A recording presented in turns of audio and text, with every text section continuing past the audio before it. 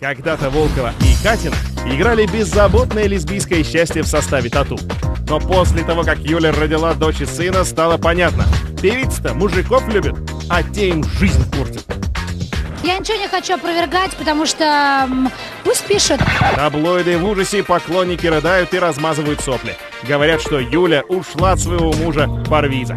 А вы расстались или вы все еще вместе? Мы расстались, да, мы расстались. Что с ребенком? Писали очень много, что он пытается отнять у себя ребенка. Это правда? Полная чушь, мы в хороших отношениях с Парвизом, мы очень близкие друг для друга люди.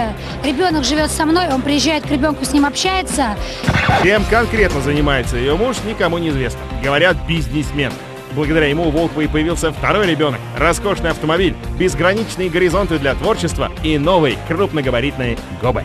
В общем, все клево.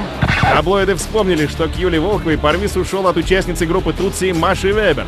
Мария родила миллионеру сына Оскара и едва отвоевала возможность опекать малыша. Но Волкова-то крепкий орешек. Как можно у такого, как я, забрать вообще детей? Я же, б***, круче, чем каждый второй мужчина в этом зале. Ну и славно, что все обошлось. А то вы бы подумали, что сейчас газеты заполнятся очередными скандалами на тему дележки детей. Кстати, помимо Самира, у Юли дочь от первого брака.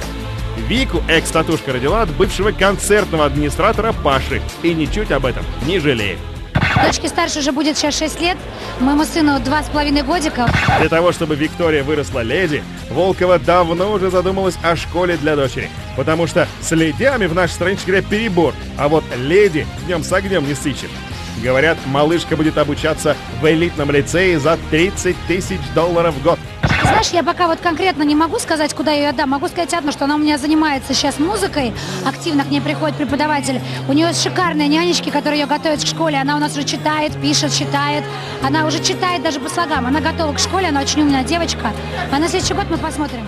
И мы...